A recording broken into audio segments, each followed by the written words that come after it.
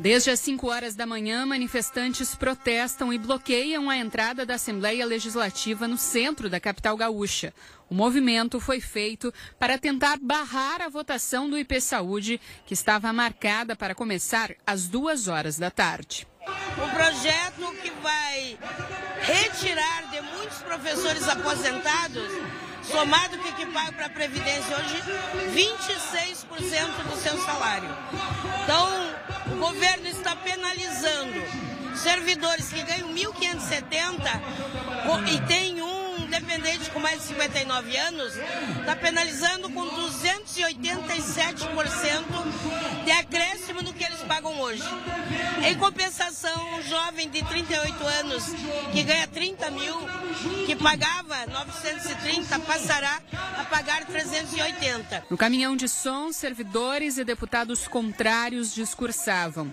Desde amanhã, parlamentares estavam em um prédio antigo da Assembleia, enquanto o prédio principal estava bloqueado.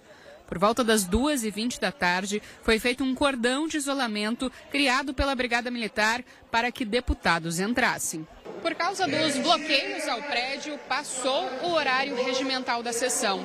Com isso, o presidente da Assembleia Legislativa convocou uma sessão extraordinária para votar o projeto do IP Saúde, sem a presença do público.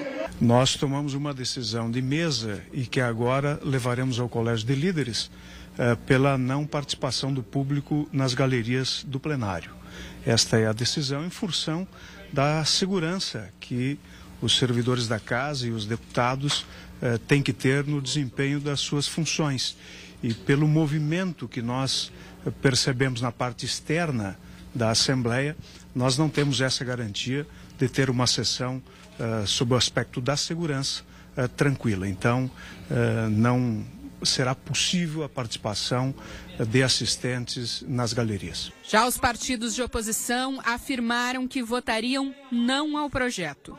Nós estamos, ao longo desses últimos dias, tentando sensibilizar o governador e a base do governo para que possa melhorar essa proposta, porque da forma como ela está, ela vai fazer com que os servidores saiam do IP Saúde e vai colapsar o Sistema Único de Saúde, o SUS. Nós passamos ao longo do dia fazendo que um governo e que também a mesa diretora da Assembleia Legislativa pudesse tirar o pedido de urgência desse projeto, pudesse nos dar mais alguns dias para que a gente pudesse melhorar e fazer com que as categorias sentassem numa mesa de negociação com o governador Eduardo Leite, com a base do governo e tentasse melhorar as condições, porque a forma como está, a nossa bancada do Partido dos Trabalhadores votará contrário.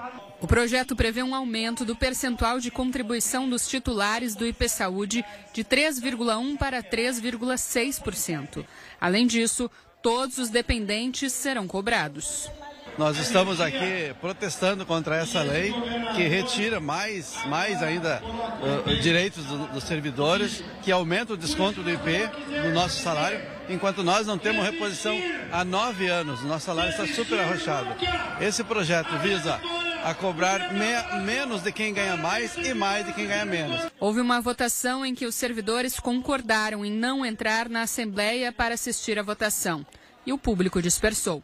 Se o governo vai nos tirar mais 12% do salário, nós queremos reposição salarial.